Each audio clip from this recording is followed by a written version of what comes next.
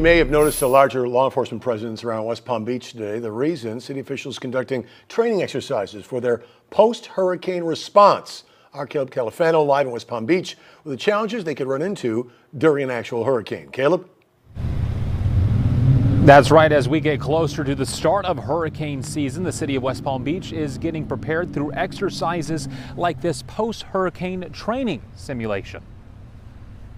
Flip cars, down trees, and debris everywhere. It's what you would see after a major storm passes through.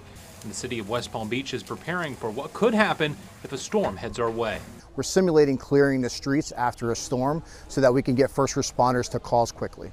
This year's training is different. While last year they focused more on the storms with heavy flooding, this year's training focused on high winds and the right ways crews should respond to rescue operations or medical emergencies. We just want to be prepared for whatever comes our way and make sure that we're very versatile at all times and make sure that our teams are prepared uh, to get the city back to regular business as quickly as possible.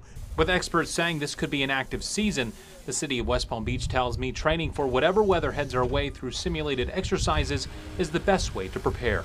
We're doing this at the end of the day to make sure that we can get out as quickly as possible after an event take place to be able to clean their city back up so that they can continue on with life as, as normal.